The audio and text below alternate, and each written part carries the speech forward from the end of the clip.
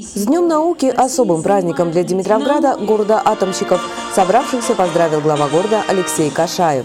Хочу всех собравшихся в этом зале, кто имеет непосредственное отношение к науке, поздравить вас, вас с вашим профессиональным праздником, пожелать вам мира, добра, ну соответственно, дальнейших успехов развития нашей науки, ну не только города, но, соответственно, Российской Федерации.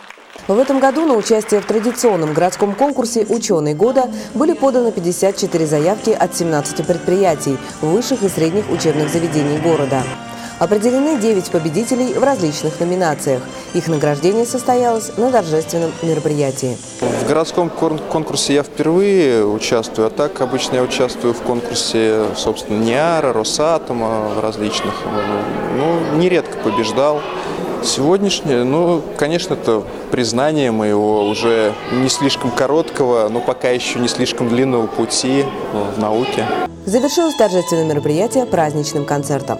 Татьяна Елисеева, Константин Белов. Наше время.